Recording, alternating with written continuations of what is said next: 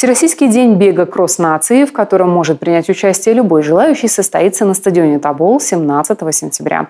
Регистрация уже в самом разгаре. Для каждой возрастной категории своя дистанция. Для детей дорожка длиной в 1 километр, для ветеранов спорта и руководителей организации 2 километра.